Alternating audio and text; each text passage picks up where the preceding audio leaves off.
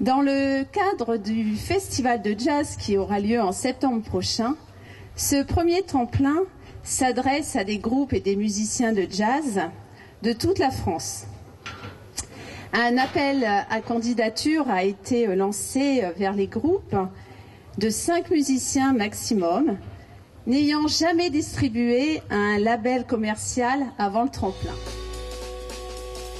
Ce premier tremplin jazz va permettre à un groupe de participer au Caval Jazz, comme nous l'explique Sénat Redzik.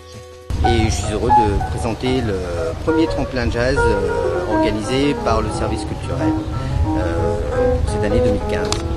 Nous avons sélectionné quatre groupes, donc euh, des groupes de diverses formations, de diverses origines aussi, puisqu'il y, en a qui viennent de l'Oise, de Paris, de Nice et de Saint-Raphaël.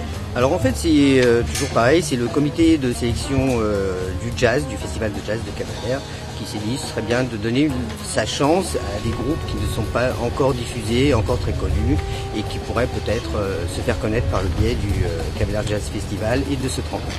ce premier tremplin permettra aux lauréats d'avoir une scène à lui tout seul lors du festival de jazz de Cavalère. C'est quand la date de La date du festival, c'est du 9 au 13 septembre 2015.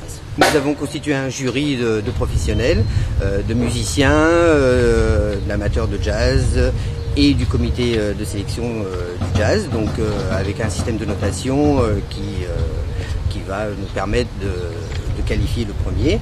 à cela s'ajoute le vote du public. Donc il n'y aura qu'un seul vote, le public ne pourra voter que pour un seul groupe. Nous additionnerons les notes et à la fin du tremplin, nous euh, délibérerons et euh, annoncerons le lauréat.